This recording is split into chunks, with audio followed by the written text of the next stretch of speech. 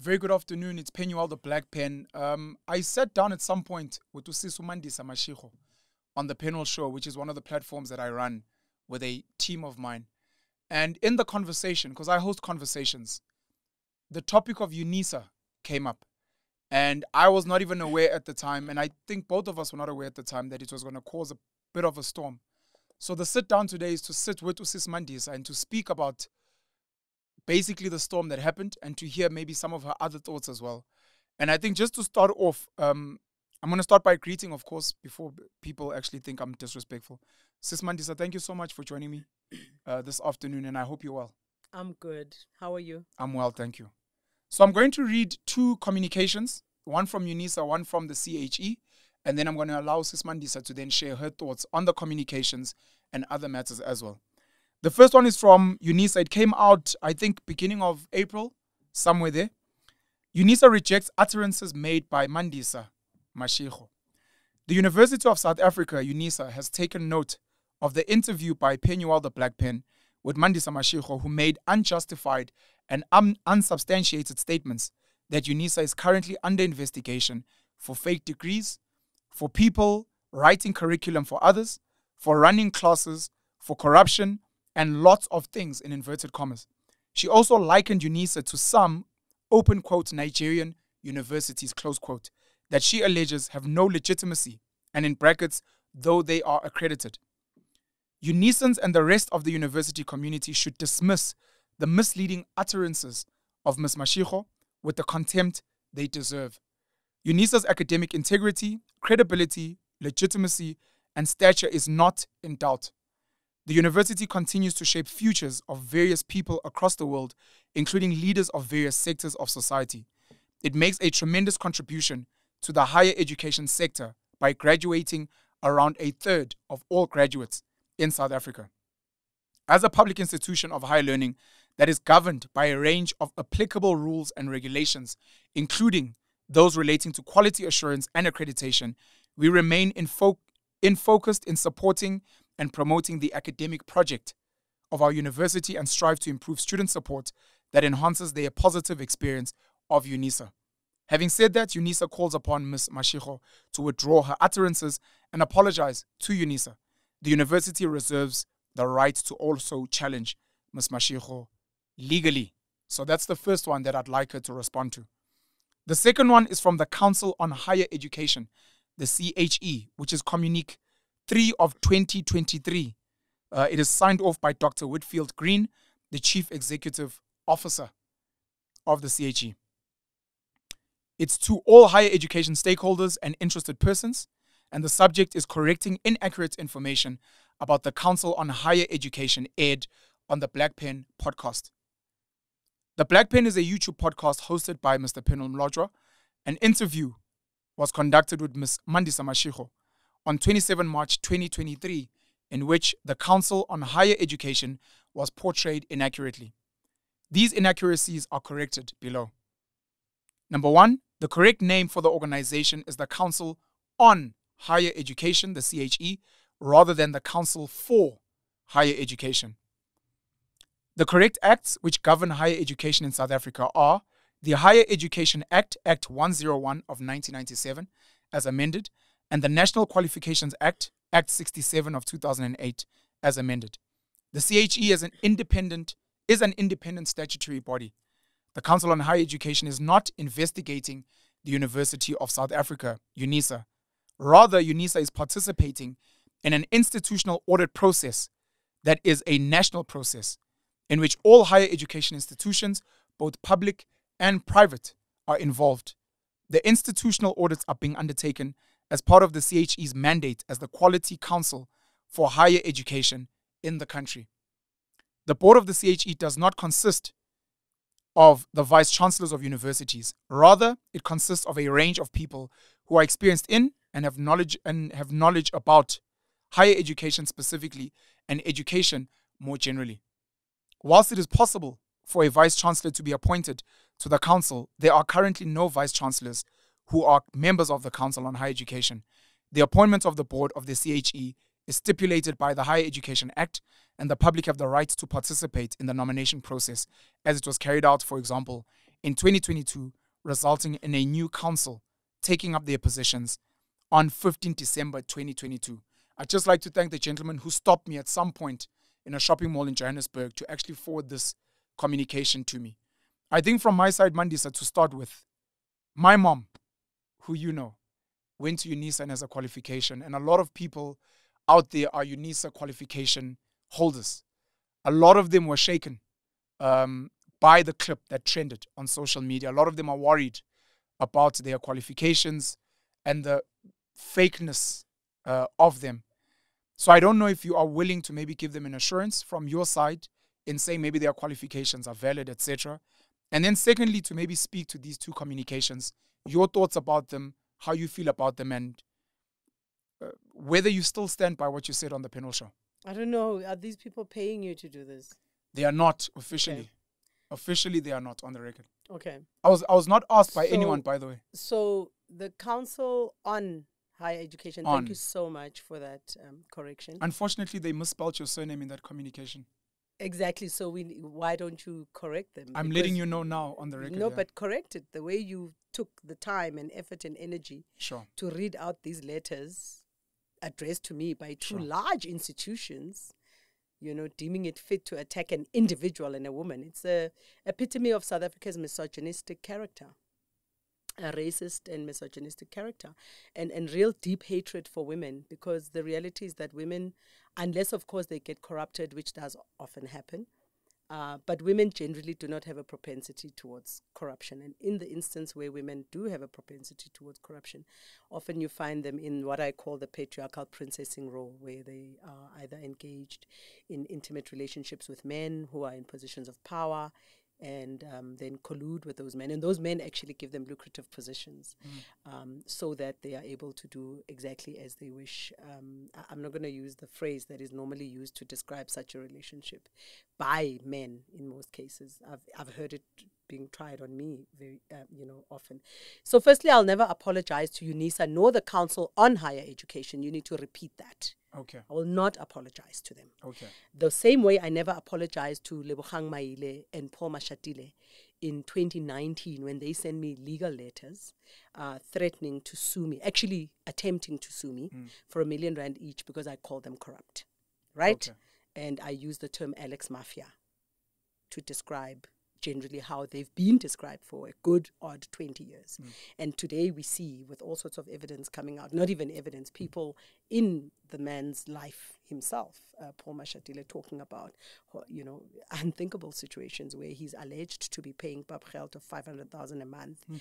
to one woman, and I don't know how much money the other one claims to be getting. I mean, unless you have a company that's listed on the stock exchange, I don't know how you can afford that kind of money. So I did not apologize to those two. I'm not going to apologize to UNISA. Okay. Nor to the Council on Higher Education. Um, corruption is normally shrouded by an, an aura of secrecy and fear. I went to UNISA during this week for a meeting with one of the unions there who invited me, saying that they welcome the comments I made and they represent various other stakeholders inside UNISA, including very senior executives at UNISA who were very happy that somebody has said something about the situation. Here's the truth and the reality is that there's massive amounts of corruption at UNISA. Mm. I forwarded you a report which I received um, illegally, right? And they should take me to court for that. I'm admitting I've received this report and I received it through illegal means. Not illegal means that I did. We, whoever got it didn't get it through the usual process that you're supposed to follow when you get uh, you know, reports and, and information in relation to untoward activities. And I need them to also take me to court for that because I want to stand in front of a court. And by the way, I'm not going to have a lawyer. I am going to have a legal team. I already have a legal team mm. that's working on this these threats. But I will represent myself. I don't need a lawyer to fight UNISA's corruption. So there's a report that was concluded during the time of Professor, is it Makhanya? Mm. I think it's Professor Makhanya, I'll correct myself now. I just want to see the heading of the report. The report is entitled Investigation on Behalf of University of South Africa. Mm. Remind me to come back to the South Africa part, which is one aspect of this entire saga that really upsets me and makes me very emotional as a patriot. and a die-hard nationalist of this country and an indigenous citizen of this country. Um, this report basically was looking into allegations, and I'm going to read verbatim the title of the report allegations relating to secondment and acting roles of personnel impacting governance and administration, underlying those two words mm. governance and administration in the university. So I've given you a copy of this report, and I think many people will have access to it because I've basically spread it far okay. and wide. And I'm the one who spread it after receiving it from a source okay. who is a whistleblower there must be a protection of whistleblowers in this country. As we know, um, Babita Deokaran was shot dead. And killed. Uh, was shot dead mm. for fighting a mine and its corruption in a community. Many women are being attacked for resisting corruption. And the reason women resist corruption is because we give birth to all of you. Mm. And we are under siege economically and socially, right? We are abused by society. Thabo Bester is a classical example. There's another gentleman called Gerard Ackerman. Due to the protection of white privilege and the advancement of white privilege in this country, journalists are not talking about Gerard Ackerman or Ackerman Gerard. Mm. He has been accused of molesting or sexually somehow exploiting over 740 children. I don't know if it's boys mm. only. It could be boys only. His case is in the Johannesburg High Court right now. Nobody's talking about it. Yes, of course, Thabo Bester is a monster, but everybody is feeding. It's a feeding frenzy of Thabo Bester and Dr. Nandipha. I, I, I don't know how to pronounce her surname uh, because they are black, right? There was also another judge. Uh, I think he was a high court judge. I don't have his name now. Who was accused of molesting a, a friend's daughter and because I'm an activist, a lot of people approach me to help them with sensitive cases. The son, the father of this of this girl, uh, approached me for assistance. These are two white people. The victim is mm. white, the perpetrator is white. And this person was a, a judge or is a judge. I'm not sure because he never gave me the name, right? Okay. He wanted to keep the name secret. I was supposed to attend one of the court cases, but the processes in the Department of, not Department of Justice, in the courts, um, was so flawed and so corrupted and so um, messed around with that the case, I think, either took a very, very long time to sit, and when it eventually sat, it was just uh, subjected to postponements and, and all of that. Come back to the UNISA situation. I'm not going to apologize to UNISA. I do not owe UNISA an apology. UNISA owes South Africa an explanation. They carry the name of our country mm. in the name of their university. I'm a citizen of this country. And if you carry the name of my country as a citizen, I have a right. I don't need permission from anybody to even level accusations against you, which can be proven. This report is in relation to nepotism that has been found to be real and people have benefited from it. And it impacts a COSATU union called Nehawu. Um, it's a very long, convoluted story, but you need to basically read the entire. I think it's seventy pages of the report. Mm. The recommendations of at the end are very few. I think there's three recommendations. One of them says that the, the employees that were promoted or second, given secondment positions without quali- uh, you know meeting qualification criteria, having the necessary qualifications to be in those acting roles, need to either pay back the money or and they need to be those roles need to be reversed, and further investigations need to be conducted at UNISA, even criminal investigations in this issue. Now, what does this impact on this report? This report, firstly, has been kept secret. You don't know about it. The mm. public doesn't know about it. I had to get it through, um, you know, creative means to substantiate my case. But there's also um, uh, uh the Council on Higher, Higher Education, uh, uh, you know, obviously because they want a reason to sue me, but they cannot disprove what I said. Mm. They cannot disprove, and they cannot um, actually um, give South Africans the confidence that, in actual fact, what I said is not true, because they are using the power and the privilege of being the authority of the universities. And so, if there is a, a, an investigation, which I know there is a whistleblower told me, and I'm not going to divulge yes. the, the, the, the, identities of my whistleblowers, a whistleblower told me inside, who is a professor at UNISA, that there is an investigation into the credibility and the integrity of UNISA qualifications currently. Mm. Now, you say that um, people are concerned who are graduates of UNISA. Rightfully so. Yes. Of course, they should be concerned. It's not only the graduates of UNISA that should be concerned, it's the citizens of South Africa that should be concerned. Our name is being dragged, you know, through the mud as South African citizens because of the corruption in society, but that emanates and starts from um, uh, and is cooked from government and state entities. We all know about it. There's a whole entire, how many, four volumes of the Zondo Commission report. And even the Zondo Commission report mm. doesn't even begin to scratch the surface. It doesn't matter how alarmist that might sound, it doesn't begin to scratch the surface. Municipalities were not probed. And, the, and, and over how many, like, I think only 43 municipalities out of 200 and about 70 270 or 280 municipalities in South Africa are functional. 43 hmm. functional. And within that 43, very, very few are viable, which means going concerns. Because a municipality is basically a business, right? That has services to offer and it charges money for hmm. its services. It's not a social development department, etc., even though it does have a business unit that will deal with social development because of the condition of the country in terms of economic inequalities. So UNISA is a public university, which means it's government. It's not a PTY limited like Eskom or SAA. Mm. Okay. So it's not a private company.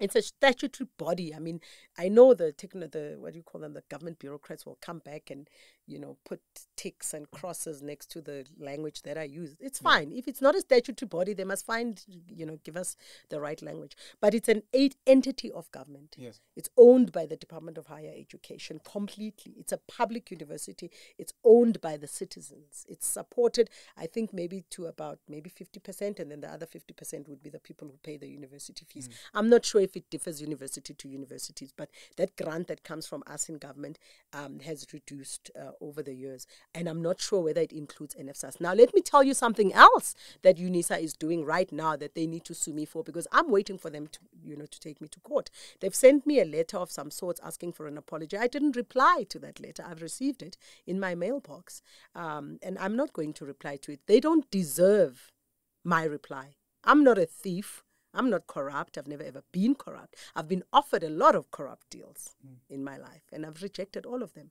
because I will not steal from myself and from my own country. Like, I don't see the point of that. There's enough calamity in Africa right next door to us. SADC countries are collapsing, have collapsed, with the exception of Botswana and maybe Namibia, right? So I'm not trying to work towards an, a- worse future for myself and my child by sitting around and, and, and basically playing lady or whatever the how role it is that we're supposed to be playing as citizens while people are looting us dry. So it's not my problem that UNISA feels like this entire thing is an attack on them. Of course, it is, it is an attack on them. They've got a lot to answer for. Now, in March, just before the end of March, before the 31st of March, 33,000 undeserving students who were not approved by NSFAS were included in a financial uh, transaction in excess of a billion by UNISA. Um, I, I, I, I don't want to speculate on the reasons, but here's how NSFAS works, right? You have to get a certain grade. It's like a bursary. Yes. You have to maintain a certain grade of performance, quality of performance, for you to continue getting the NSFAS grant. 100%. Every year, every year, when the or I don't know whether they do the biannual like half yearly or only once a year or whether they look at the final results only or the June results but every year prior to the universities receiving the grant from NSFAS right they need to supply the results of every student that is on NSFAS. Mm. And that result must be compliant with this criteria. Mm. Like when you have a bursary from a private company, you have to get a certain grade. Otherwise, the, the, the, the, the, the, the bursary automatically falls off. So with NSFAS, if a student does not meet that grade consistently, they lose the, the, the, the grant, mm. right? But UNISA made a transfer and I dare them to deny it. I have evidence, again from a whistleblower, inside UNISA. So I have a lot of bones to pick with UNISA. And if their argument is going to be, oh, there's no evidence that anybody, uh, you know, is cheating in the exams. I can tell you now, everybody at UNISA knows about this. When I had the meeting at UNISA, various UNISA senior employees came to me to say, you know what, we can't support you openly, but well done, thank you. We are so sick and tired of the mess here. The nepotism is getting out of control. There's a minister's son who's employed there, which is a conflict of interest for that minister. I'm waiting for the name. That's why I'm not willing to say which minister, mm. but very related to UNISA itself, who is employed at UNISA, right? Either in a finance or supply chain department. Surprise, surprise. Okay, so I don't want to cast aspersions on anybody, and I don't want to say some my daughter, if I'm working in a certain place, is not entitled to a job mm. there. But we have to be very sensitive to conflict of interest. The Zondo Commission reports repeatedly state this, and corruption at some point is not even about the laws; it's about the ethical conduct of leaders mm. or misconduct in this case. And so UNISA needs to go and deal with its rot because they are dragging our name down. Let me tell you something else. If you go to Wits or UCT or Stellenbosch or um, what is the one in Grahamstown, Rhodes. right? Or UFS, UP, University of Pretoria, and you talk about, do, you know, there's like a standing joke about UNISA, and this has been going on for years. There's these derogatory names that are used in the sector to describe UNISA, something like the I don't know whether they call it the what did we used to call the Bantustan universities during apartheid? Mm. The we used to call them the Bush universities. I know it's a derogatory term, and I didn't create it. Yeah. Please, I don't want Th- to be those, sued. Those institutions. I did not create that term. It's been there since I was in high school. I refused to go to a Bush university because I was like, no, there's no ways I'm going to a Bush university. I ran away from township schools thanks to my parents insisting that I should run away from township schools and go to and go to other schools where they had to sacrifice to pay a little bit more. So I refused to go to a Bush university. Um, at the standing joke in the academic sector about UNISA, right, is that when the other so-called Ivy, Ivy League universities talk about them, they call them the the, the, the Bush High School, something like that. Maybe not Bush, but something about a high school, some mm. derogatory term. No one will admit to this because everybody knows it's those corridor jokes right? The credibility of UNISA's qualifications currently, as, as, as over the last, I don't know how many years, everybody knows it's corridor jokes, right? And so they must sue me for reputational damage that they incurred over years. I'm a public relations practitioner by profession. And um, by the way, that press release they issued. Mm I don't know. It, it needs to be. It needs a regulator in, in, in, in PR. So, you know, just to to, to, to, to, say something about it, mm. to give it an you know some kind of analysis. Because if you're an academic institution and you um, have qualifications in the communication space, at the very least, please write proper press releases. Mm. You know what I mean? That that are that are suited to who you are. So it's like a, a Johannesburg Stock Exchange listed company. It has to comply to something called the SENS right? Yeah. And it must comply in terms of quality output of communications. That that's not a press release that mm. I, as a public relations practitioner, would approve at that level of an organization, at a senior national level, executive level, even at a at a less operate, I mean a less lower, slightly lower operational level. So there's a lot of quality problems at UNISA, and these problems are internal. The internal environment is aware of it. Mm. Um, you must remember that before SAA went down, for a good 15 years, there were industry complaints about SAA mm. in the aviation sector. I worked for SAA many years ago. And of course, as employees, we were concerned. But year in, year out, SAA was getting bailouts from the tax. Our money. As far back as when did I work for SAA? In the year 2099, 2000, 2001. The, SAA had received about 15 billion rands on average, it was hovering between 10 and 15, maybe 5 and 15. I don't know. Could have been more, could have been less. But several billions of rands. Where is that? Where's the value of that money today? Where's the value of that money? SA is gone. Mm. Gone, done, finished. So, are we supposed to keep quiet and pretend that everything is okay when we can? See? The country is in a state of permanent disaster load shedding, prisoners come out of maximum prison. leave dead bodies behind with the collusion of employees in the correctional services. Uh, department, whether that prison was a private prison or not, is irrelevant because the authority of all prisons is uh, the Department of Justice, as mm. much as the authority of education is the Department of Education, even if your school is private. They are the ones who regulate all sorts of things in the sector, so they must take responsibility. We are in deep crisis. The country is on the verge of collapse. The the the the the, the debt, what is it, GDP to debt ratio of South Africa? Mm. Is ridiculous. Um, we collect several trillions of rands uh, through SARS every year, mm. and we owe our debt, our government debt, is probably, if not equal to what we collect. Mm. It's a little bit more. I can't remember the last figures. It's between four and five trillion. And we collect around four trillion. So I stand corrected on exactly how much our debt is. But you can check, there's web, various websites that can tell you a country's debt. And even those debts are not conclusive mm. because there are various illegal transactions that are done at municipal level. You will remember the VBS Bank is a classical example of illegal transactions that were done by municipalities um, going directly against the PFMA, directly against uh, national treasury regulations. And so I could add a whole lot of stuff, save to say, in short, I do not owe UNISA an explanation. I do not owe them an apology. Nor do I owe the Council on Higher Education. I'm not going to be intimidated by them. They must send me court papers. I'm going to go to court and defend myself.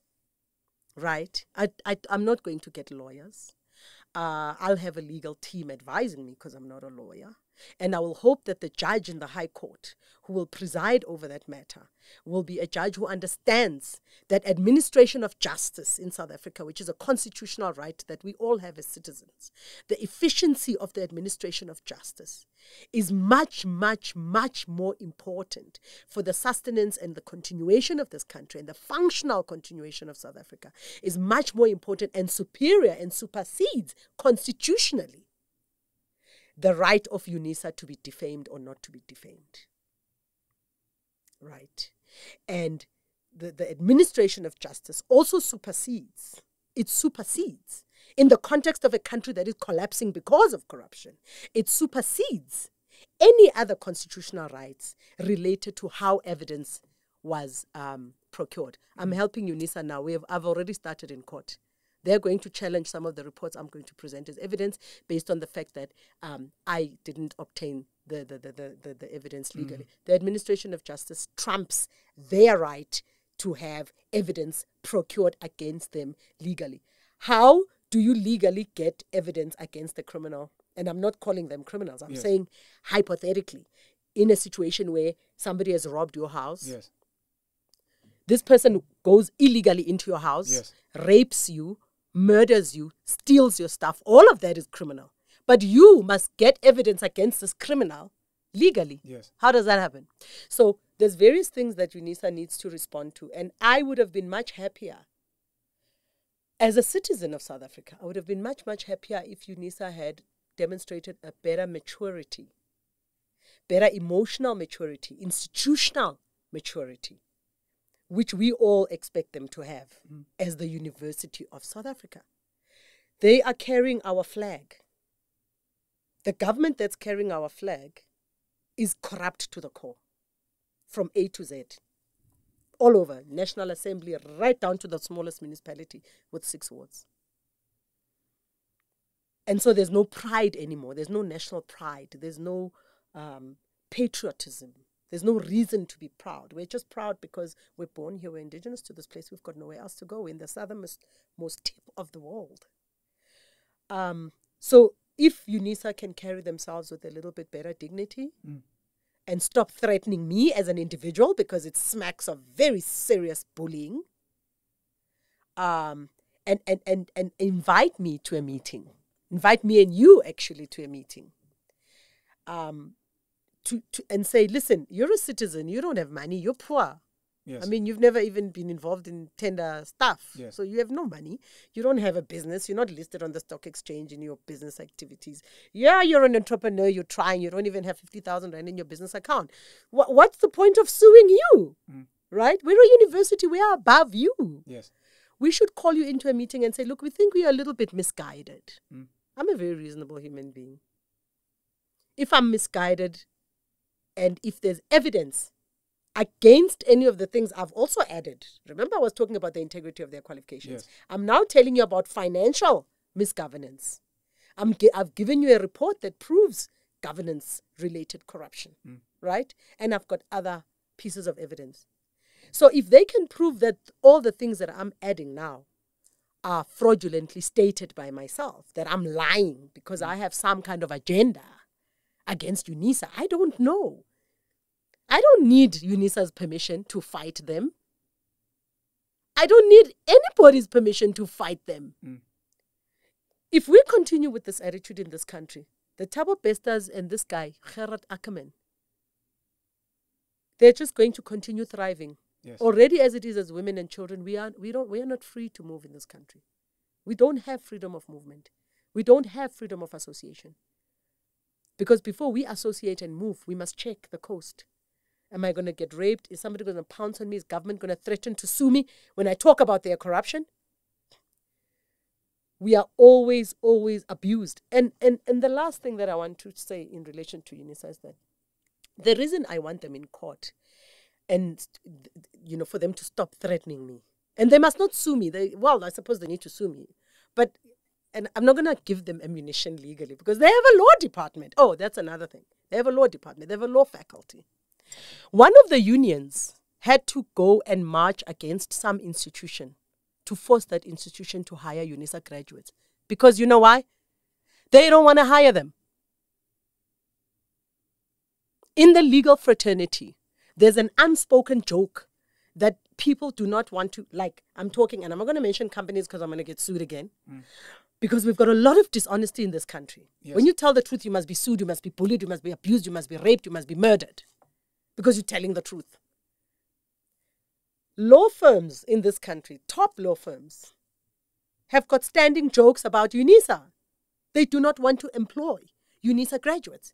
A union mobilizing in UNISA had to go and protest outside some organizations' premises to, to basically compel them to employ law graduates from UNISA. Why would that be if UNISA had so much integrity? Listen, I worked for um, auditing and accounting firms. I did a lot of consulting work in my life. Um, the big sort of five or big four consulting firms that, that are global firms go to universities, UJ, WITS, University of Pretoria, perhaps even VUT, I don't know, Stellenbosch, UCT, to poach the best, University of Johannesburg, to poach the best graduates, cum laude and above graduates, to poach them. So why do people not want to employ? Yes, I'm not suggesting that they don't get employed. Of course, the Department of Justice employs a lot of people, graduates from UNISA, either in the what do you call this unit that deals legal aid, as well as NPA, etc., etc. Yes, of course they do. They probably are compelled. They are government. I'm not speaking on their behalf, and I'm not berating it. I'm not saying it's wrong. I'm saying why is the private sector, the, the controllers of the of the law fraternity in South Africa, why are they reluctant to employ UNISA graduates in the law faculty? If UNISA has got so much integrity. Ngiyabonga Mandisa. I want to I want to say a few things from from what you raised. The first one is I hope it's a correction. I might be wrong. You mentioned four volumes of the Zondo Commission. I think it was five. I also stand to be corrected. Thank you. Um, the SARS collection, I think, currently is at about two trillion. But I do understand that our debt to GDP is extremely high. I don't know if it's at 80% or more. And I remember at some point reading that our interest, just from our budget, the interest on our debt takes up, I think, about 40% of just the budget yet, which means we're just paying interest, never mind the the principal or the capital. We've, we've got a, a serious problem there. Um, you mentioned nepotism at UNIS, and I wanted to highlight that there's currently, I think they've been asked to step down the vice chancellor of the Stellenbosch University, and I think a registrar as, as well. It's a, it's a white gentleman who's the vice chancellor, and I think the registrar is a white female. Speaking about nepotism, because I think there's also children that were put in the institution not following due process. Um, when you spoke about Bush varsities, I wanted to say you're right, in my opinion, my experience, that to this day, UNISA graduates are treated as less than in corporate, not just in law. I was in auditing, I was signed with a, a big auditing firm. Auditing in, in the legal fraternity, in banking, and in other spaces, which is very sad because UNISA was always a very top institution, especially for distance Yes. learning back in the day. You know, it, it served a very a very important function in this country. The sad thing is, you mentioned Bantustan institutions, and to this day, they also get treated as less than. You look at a Fort Hare, you look at the University of Zululand, amongst others, and to this day, they treat us like it's almost like there's these elite clubs in the space. You go and you study. Kabang, you come from a mud hut or or a shack in an informal settlement, and you go and you get NSFAS, and you go and you study and you get your qualification, but they say it's not from the right place. So there's there's there's problems everywhere. I I am sensitive and I'm hurt and I'm emotional about the bullying that you're feeling. And it's not you. I mean, you have been in politics. You speak well. You are brave. But there have been brave people who have been killed. There are brave people who maybe don't have platforms and they are scared. And we are building a nation of people that are fearful to speak the truth, who have access to corruption and to evidence and are scared to share it out because we argue today that the courts are captured because you will send it and it will be thrown out and, and scratched off the, the roll because it's we have to scrape this off. The evidence wasn't collected legally, but how do you get it legally? Because these people will not let it get out, but it's there. Thank you for sharing your side. I think from my side, um, I apologize to UNISA students and graduates. I, I know a lot of them study very hard for their qualifications, and the onus is on UNISA to give them comfort and the Council on Higher Education to also ensure that they crack the whip and the Department of Said Higher council Education. For, council No, on. Council on, I made sure. I definitely made I sure. I'm like, oh, the spell checker is going to be out there. Shame. Um, I hope they'll checker. also apologize to you for misspelling your surname. It's it's Mashego yes, I with actually, an yes, E and not an officially, I. okay, officially, thanks. Sorry for cutting you short. Yeah. Officially, I do need the Council on Higher Education to spell my surname correctly Sure. as an indigenous citizen of this country. My surname is Mashego, M A S H E G O. I is not Mashiho. Yeah. And I take offense. I, I'm very, very offended actually that Yeah. they misspelled my surname. um, when I read the UNISA communication, I also and a whole lot of other people that are my colleagues were like, "Is this a real thing? Who wrote it?" Yeah, it looked like actually a joke, right? Yeah, I mean, I know when somebody sent it to me, and maybe I'm fussy because that's my profession, Yeah. communications. I was like, this is this is a joke. That's what I literally said. I said, no, this is a joke. This isn't real. Somebody, maybe the SRC wrote it. yeah, That's what I said because the SRC did issue something initially, and yes, I mean I'm not insensitive. I I, I- do feel for anybody who I mean there's a lot of problems now in the higher uh, I mean in secondary is it secondary secondary education uh, in high schools Oh, where okay. often they they discover um, institutions that are not properly registered with the Department of Education, right? yeah, uh, you you often have these leakages, um, and it's a it's almost like an annual thing now. it is an annual thing. A, a leakage of a matric exam. But here's the difference: it's called reputation management in my trade, right? Yeah, In communication science, we have a field called reputation management.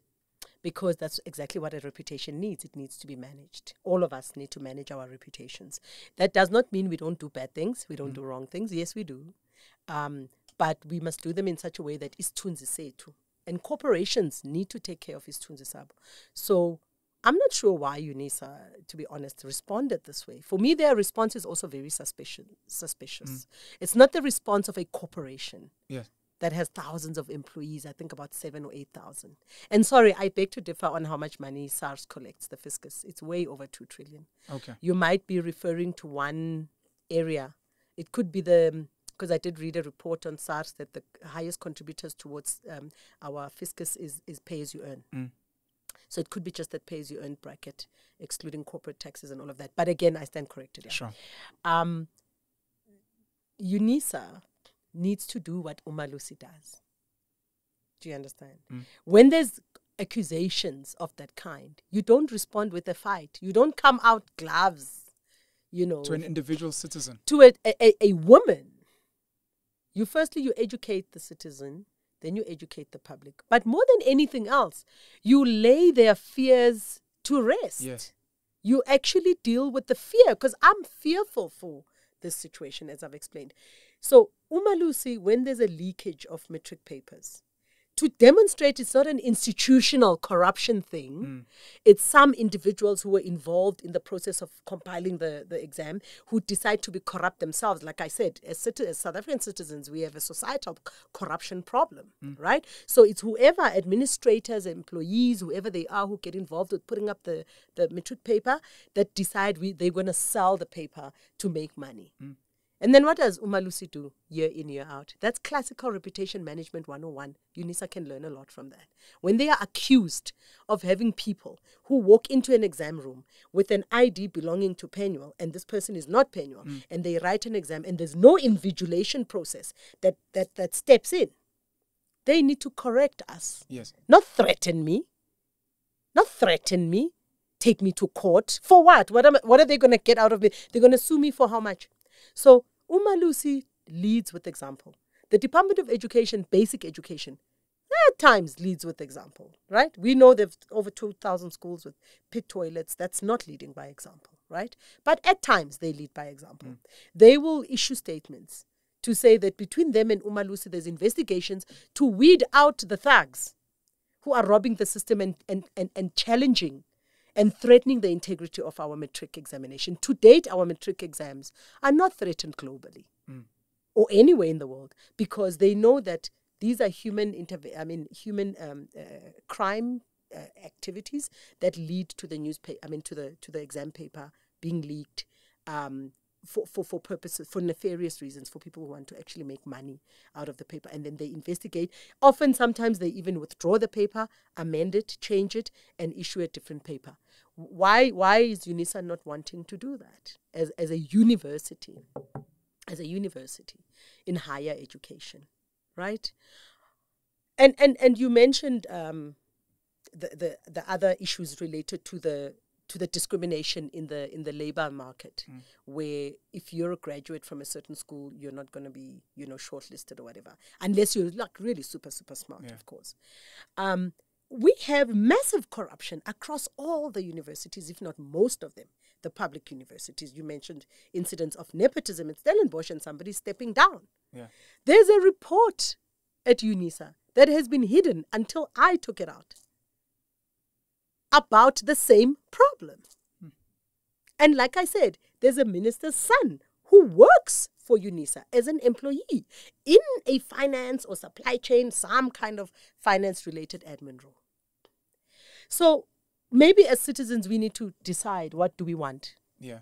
Do we want a country that is completely corrupt, where we know that there's no queue anymore at Home Affairs? I must get in with a hundred rand. I give somebody a hundred rand. I go to the front of the queue. Is that the country we want?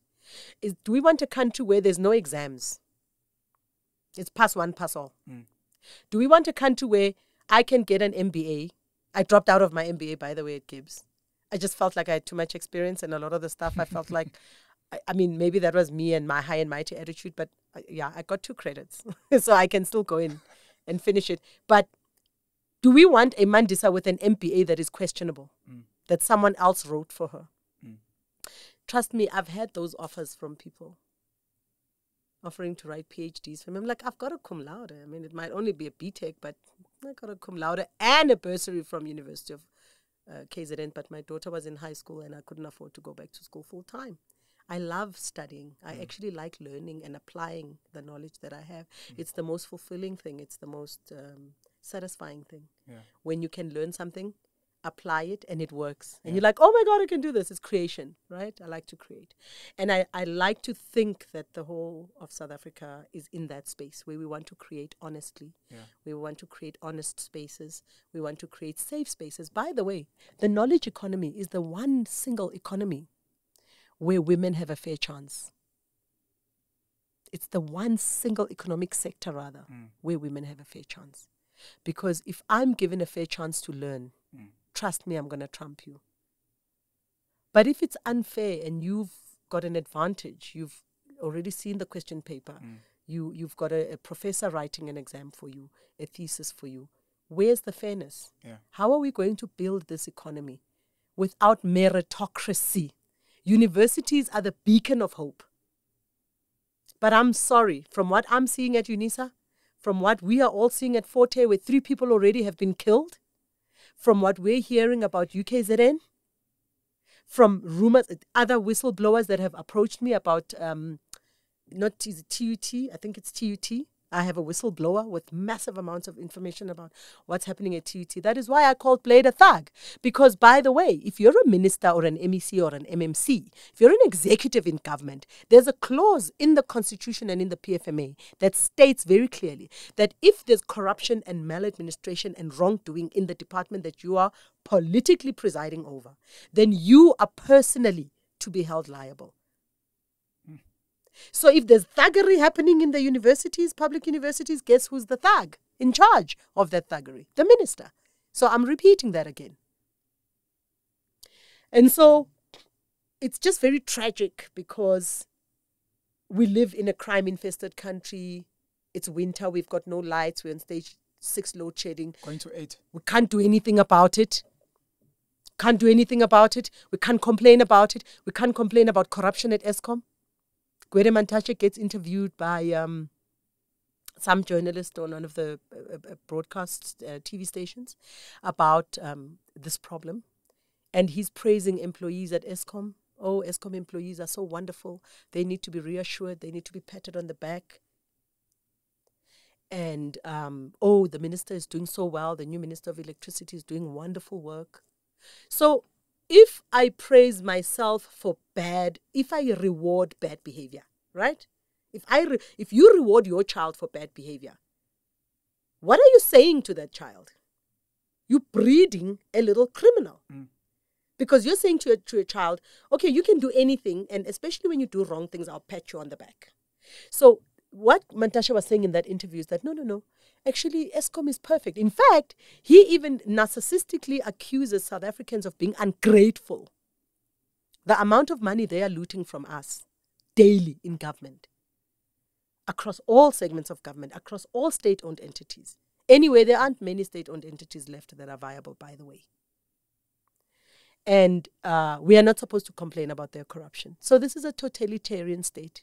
UNISA's behavior is totalitarian, it's authoritarian, mm. it's bullying, it's dictatorial, it's misogynistic, it's not transparent. Governance is about transparency. A university must be the beacon of governance.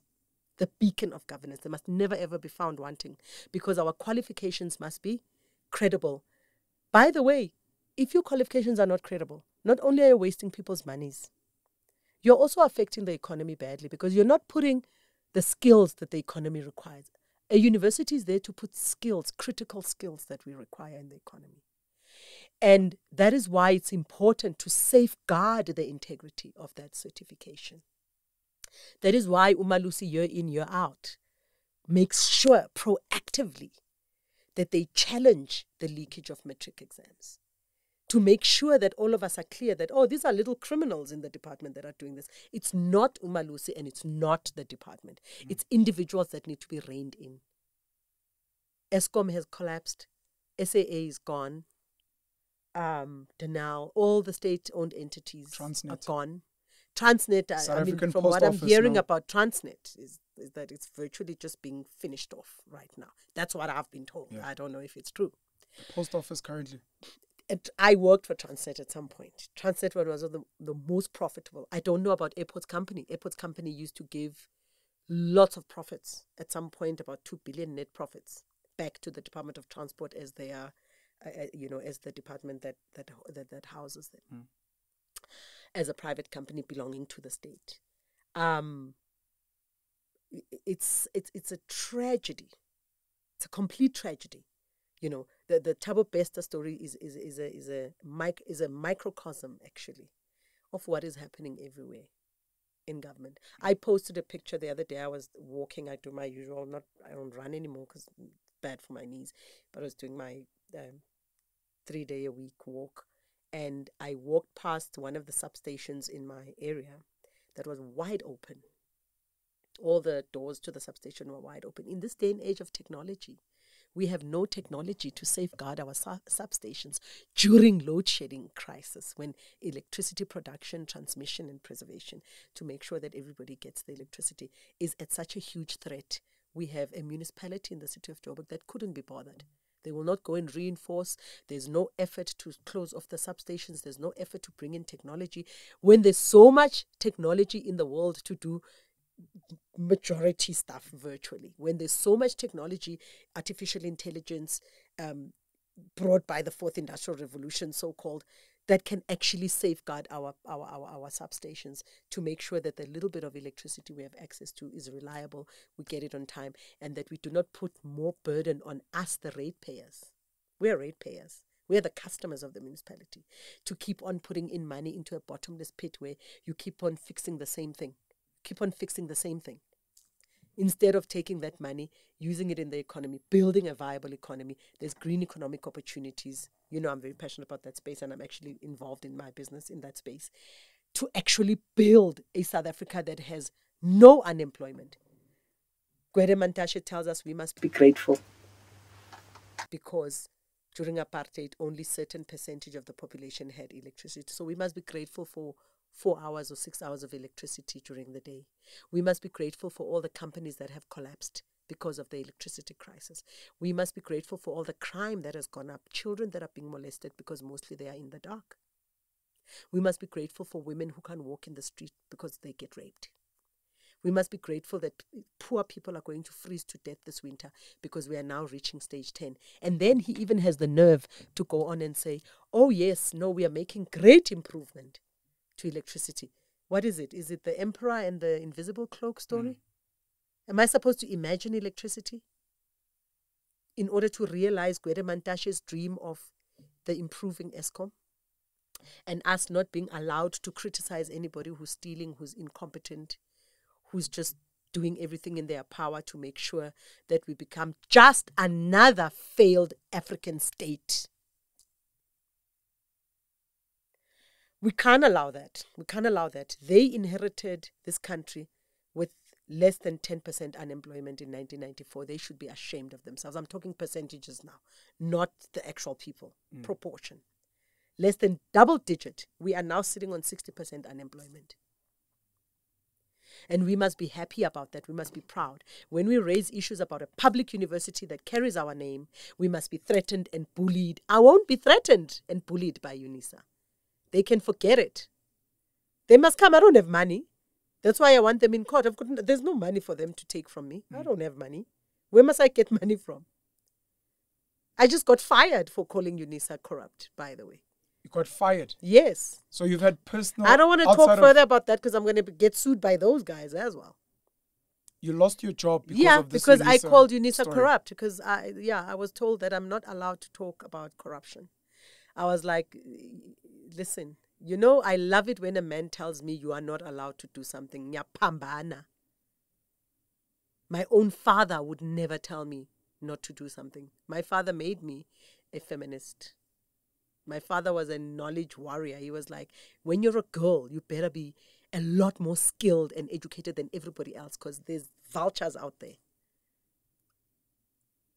So prepare yourself to be able to stand on your own. What are they going to do to me? Bazongbulala. It's okay. I said this many, many times. I was issued death threats in Alexandra in 2019 before Lebogang Maile and Paul Mashatile uh, uh, sued me. Well, they didn't sue me. They sent me papers telling me that they're going to sue me. I said, no, let's go to court. Let's go to court. You can't collapse government budgets. Coming, I've been paying tax since the mid mid late 90s. I've been a taxpayer since then. I'm not I'm not working in a country uh, where we as citizens become uh, I don't know, we, we must live like rats and crawl in and out of our holes because we are scared of the big, scary government people. Oh, because I'm an entrepreneur. Yeah, of course, I'm doing business with government. I don't care. I'm doing business with government. They must tell me why I'm not allowed to do business with government. They must give me one reason why I can't do work for any government department. What have I done? Do I not have skills? Am I not efficient? Am I not professional? Do I not deliver when I do work? Of course I deliver. But the misogyny, the right to loot our money, unfettered, uncontrolled, unmonitored, the, the fear mongering. I must. I'm not going to live in fear. I'd sooner be dead. Let UNISA organize a hitman to come and kill me. I'm not a difficult person to find. I don't have bodyguards. I've never ever had. I can't afford them. I've never been able to afford them. Nor do I want them. I'm a free. I like freedom. I love to be free. And so whether they kill me, whether they they they lock all business opportunities for me in government, whether they um, they threaten me, they insult me in public, it's not going to change the reality of their own rot. And if they love this country, they will do what I said earlier. They'll call me around the table, the way the union at UNISA did, and talk to me like mm. a human being, like an adult. I don't benefit from any of their nonsense, nor do I want to. Mm. But I'm not going to be threatened by thugs. It's not going to happen. I see Valis Mandis. Um, thank you so much for coming through. Thank you for being such a deeply passionate patriot.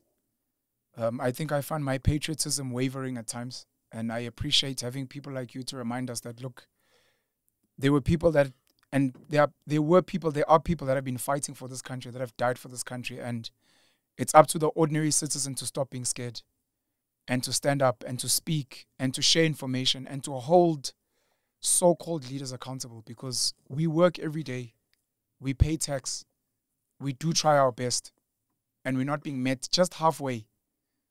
So thank you so much. I'm going to challenge all the people that are going to watch this to correct any of the information that we may have gotten wrong or right. Yes. To share any links to any related information so that we can all learn. Yes. And to commit themselves to do better. And not just to the people that are going to be watching, to every politician that's going to be watching this, to every tenderpreneur that's going to be watch, watching this. I urge them to educate themselves on how countries are built, on how economies are built, and to understand. I've, I've mentioned this on another platform how when they milk a cow till it bleeds, the cow gets infected and it dies. And if they think their children, their grandchildren are going to have any milk. Ferraris. No, their children anything. are not going to have Ferraris. There's eh? going to be nothing here. Mm, there won't even be roads to drive the Ferraris yes. on. And their children will suffer more than us because we've already been insulated against poverty. Their so children are not insulated against poverty. They they need to catch a wake up for themselves, for their self interest to do things better sustainably for the future. Thank you for joining us and I look forward to sitting with you again. Thank you, Penuel.